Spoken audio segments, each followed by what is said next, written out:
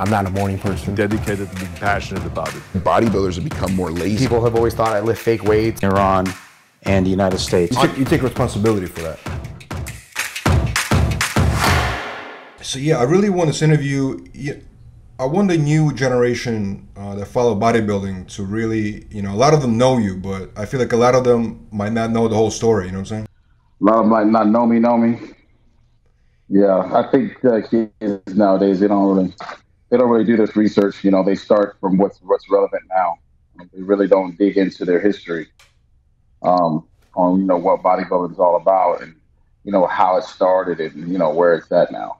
How did we get there? You know, nobody we can really. Um, it's really hard to analyze, you know, where you're going if you never know where where where you've been. You know, what's happened in your past. You know, so yeah, it's a little different nowadays. Yeah, but your story is amazing. You've you've competed you've competed in a in one of the best eras in bodybuilding, I think. Yeah, it was. I, I believe it was one of the toughest. Um, you know, I, I came through. Um, you know, I just had good people around me that showed me, um, you know, a lot of the do's and don'ts, um, and you know how to how to you know really get through it. Back then, you know, people were really really competing. I mean, they were really getting it. And um, I was fortunate enough to, you know, to be around the Flex Wheeler, you know, uh, Chris Cormier, Ronnie Coleman, and, uh, you know, even got a chance to even, um, you know, be with, around Kevin Levrone for a while. So, you know, that era, you know, coming through with the Nassers and all that, I was, I think I came through right when, um, you know, Nasser or somebody was kind of filtering down. Um, and then, you know, between, I think like, you know, 90s, all the way through the 2000s. I mean, the, the competition was way different than it is now. Yeah, and, and Markus Rühl, Ronnie Coleman, all these guys. It was an amazing era. oh yeah, oh yeah. Markus Rühl was a was a tyrant. That dude, he was a cool guy though. You know, he didn't talk a lot. You know, but uh, when he yeah stepped on the scene, he was like, like Godzilla stepping into a into a movie theater. You know what I mean? Mm-hmm, mm-hmm. Yeah, big guy. But even with that, even with that competition, you've accomplished a lot. I mean, you were top five at Olympia, top five at Arnold. You you you you definitely you were up you were up there with, with the toughest you know meanest competitors. Oh yeah, um, yeah. Being the top five in the world is I mean it's nothing to shake a stick at. But you know I was trying to win. You know, I mean I came through. Uh, in my my mentality was, and it was taught um, it was embedded in me to to be the best. I mean, you go for the go for the go for the throat. Know what I mean? You go for first place, and if you end up being, you know, second, third, fourth, seventh, ninth, top ten, then okay. But you know, I was never complacent with the placings. I was always trying to beat uh, the physique I presented um, and beat everybody on stage, whoever they put me in front of. Um, and so, hopefully, that fight is still in these guys. Um, you know, I, I need to watch it a little bit more. But uh, yeah, that era was no joke. Mm-hmm. Um, in the Olympia stage, that was the Super Bowl of bodybuilding. You know, um, that was never taken lightly at all. Yeah, for sure. I, I, I saw an interview with you uh, from early 2000s where you're talking about competing, you know, and you really looked at, at, at, it as a battle on stage. You know what I'm saying? Like, I talk to a lot of guys now, and they're kind of like, well, I only care about what I look like. You know what I mean? When you were competing, you were like, I'm going there to kick this guy's ass. I'm going after Dexter. I'm going. I'm doing. Like you were really battling.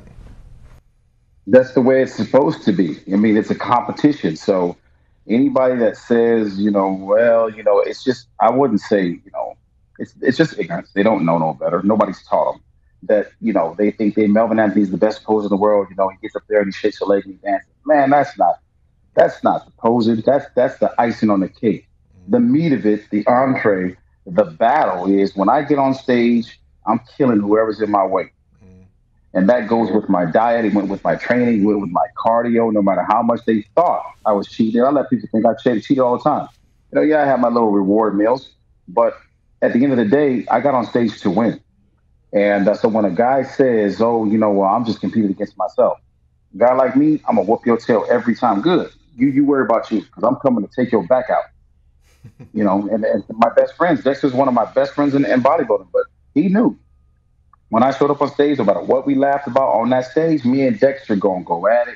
I'm kicking, and you gonna have to kick mine to get me out the way, or I'm gonna take your money. You know, and it's just a different, it's just a different way of training, and, and so yeah, it's just naive. You know, the guys that say that.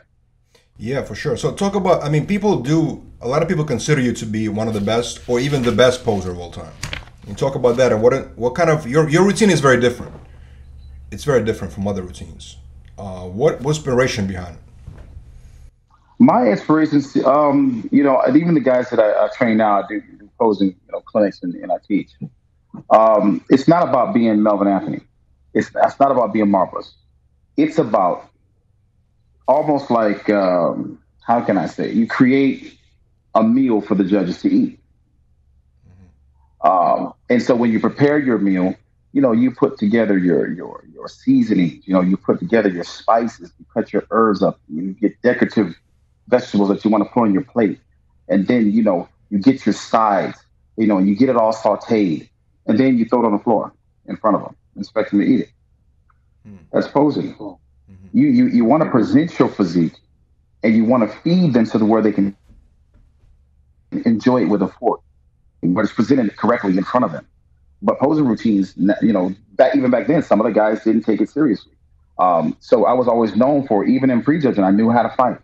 I studied the guy next to me.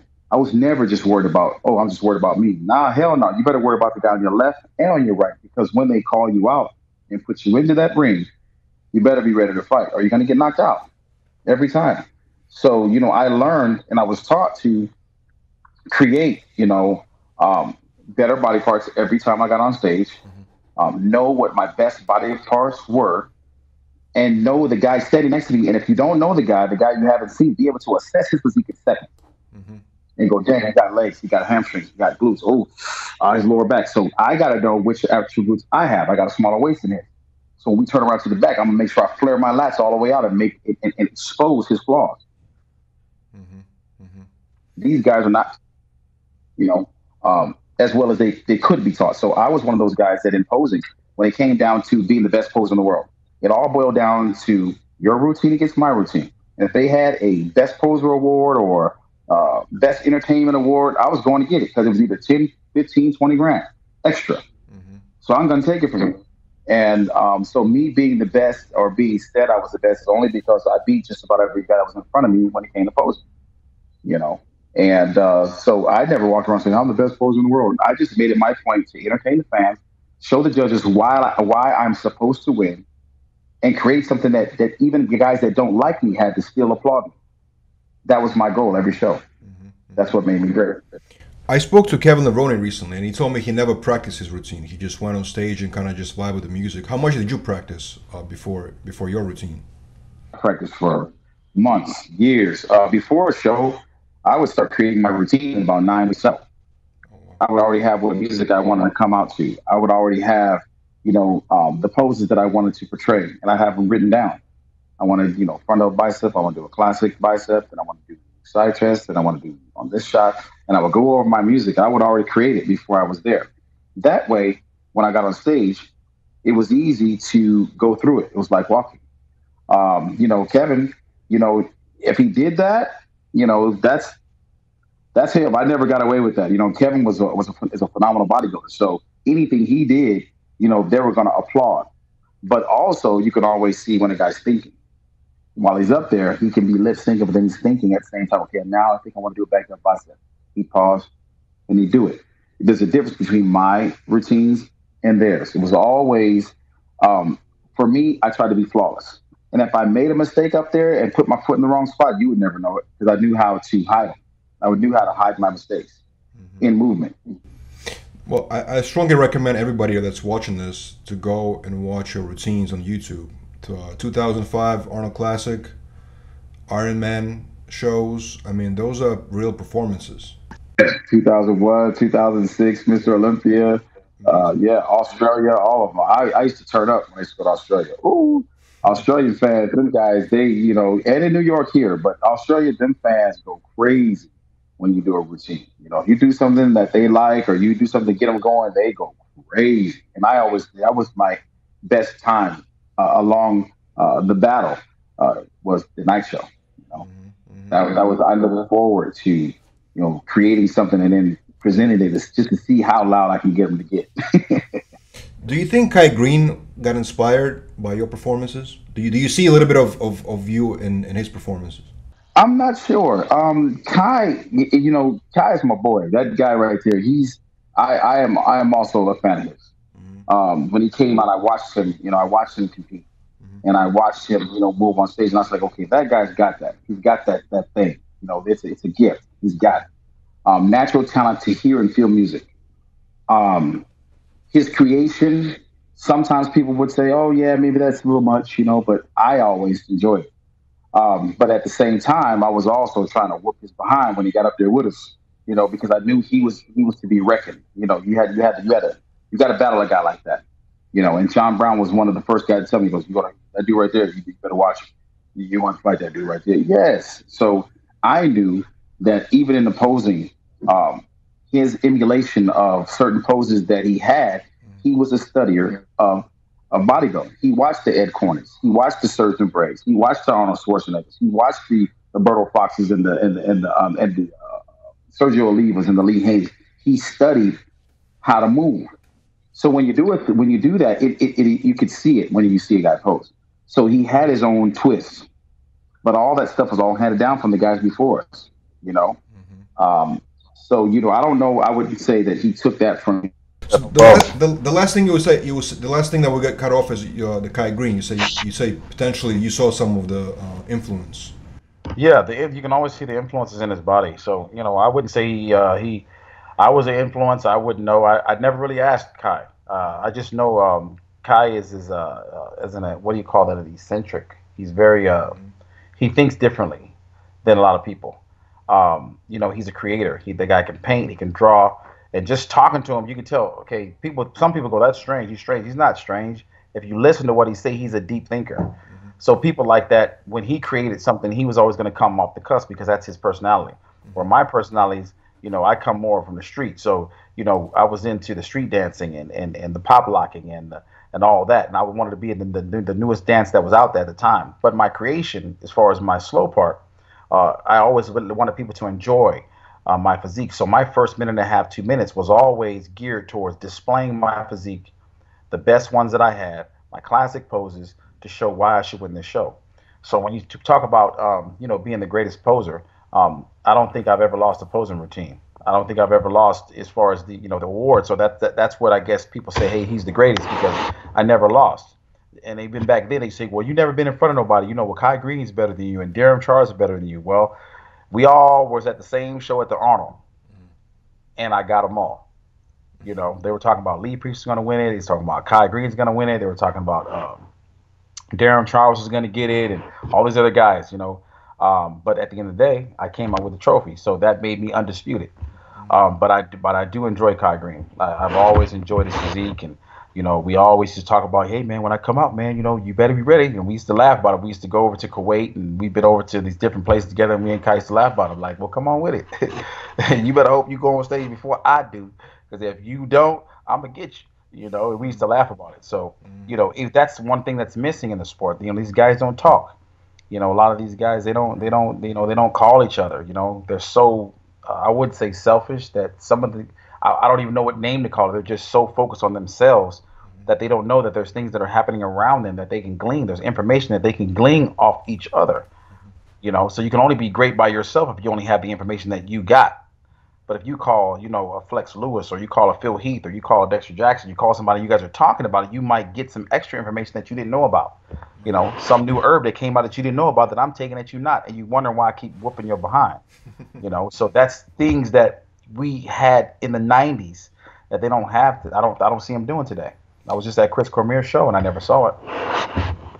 Outside of you, who do you consider to be the top five posers of all time, excluding yourself, that you admire? Uh, besides myself, mm-hmm. you being number you being number one. Um, Kai Greene for sure. Mm-hmm. Um, Darren Charles. Mm-hmm. Um, and you talking about in this era or in that era? Any any era. Um, a guy that's close that that really can I think that that I would put in there uh, would be uh, Terrence Ruffin. Mm, yeah. Uh, and this new kid that um, you know I had the had the uh, the uh, opportunity to work with a little bit uh, Sabor Favors. I can't say his name Sabor or Sabor. He's good. Um, so those guys I would I would throw out there um, as being one of the, some of the greatest guys. Um, in my area, yeah, it would have been a Darren Charles, it would have been a Kai Greene. Um, anybody else that stands out that came close? Mm, mm, that's that's probably about that's probably about it. That'd have been five guys I would I would consider great. What about Shawn Rhoden? Because I, I saw somewhere that you helped him in 2016, I believe, uh, for his. I did. Um, I did. I helped him. He's a natural. Um, but uh, you know, I, yeah, I could throw him in there for sure. Um, Shawn Rhoden, he was a good mover. He had good balance. Um, yeah, he knew how to flow between his uh, transitions. So yeah, he would. That would that probably would cover it then. Shawn Rhoden, Kai Greene, Darren Charles, Terrence Ruffin, and Sabor. That'd be five for sure. Definitely. Yeah. Now you mentioned John Brown. Again, a lot of people don't know who that is. Can you, can you tell people who that? Because I, I understand he was your mentor, right, originally. Yeah, man. To this day, man, he still mentors me on things. Um, John Brown um, won the Mr. Universe three times. He won the uh, the Mr. Uni- uh, the Mr. World uh, thing three times. Um, traveled all over the world, and he was known for putting on a show, um, as well as portraying his physique. So that was where I got my base. Um, he was the guy guiding me, telling me, "Hey, don't do this. Hey, do this. Don't do that. Hey, train this way. Don't you know eat this." And when it came down to you know to diets and stuff, but John Brown is one was one of the greatest posers probably ever stepped the stage. He was actually the first guy that really started to mix music together and blend the routines. They didn't back then. They weren't allowing guys to tape play more than one song. They were wanting to play what they wanted to play. So John really pushed that issue with the athletes to be able to play their songs and mix tapes together, making mixtapes. He was the first guy to do that. Was he, a, Um, was he your coach in the beginning? He was my coach. He was my coach for man for years. All, pretty much, you know, he had his hands in, um, you know, giving me advice probably all the way through my career. Um, even when I had different gurus, you know, I had Chad Nicholls and um, I had a few other guys. I had Hani Rambod, um, you know, training me, helping me, um, and uh, I had another guy um, who was from Greece, Pano was, first. it, was it Milos your coach at one point? Milos helped me a bit too because I was in Milos's gym. So you know, like I said, I had a good team of guys around me at all times. You know, Milos Milos uh, helped me for the New York. So um, I had good influences from guys. Um, but John Brown was the main guy. I mean, James John Brown had his had his influence with uh, Vince Taylor and Shawn Ray, train those guys. He even helped Milos back today. You know, talk, talking to him about training. Um, John Brown had uh, Victor Richards. You know, and those the, all those guys. You know, he told me when I was competing, he was like, "Man, you could be a pro easy." I was like, "Huh?" You know, I didn't I didn't even know what I had. He goes, "Man, you, you listen to me, you'll go pro. You know, you do the right things, you train the way I tell you to train, you're gonna go pro." You know, so he was one of the guys that influenced me to do that. But back then, he was before his time. And he's telling me, yo, I don't know why they like you so much, man, because you a little, you a little cut up, boy, but they like you. And I'm like, I don't know why either, but you know, you, you, I'm gonna use what I got to get there. You know what I mean? Uh, so those that don't know, John Brown was one of the greatest bodybuilders ever.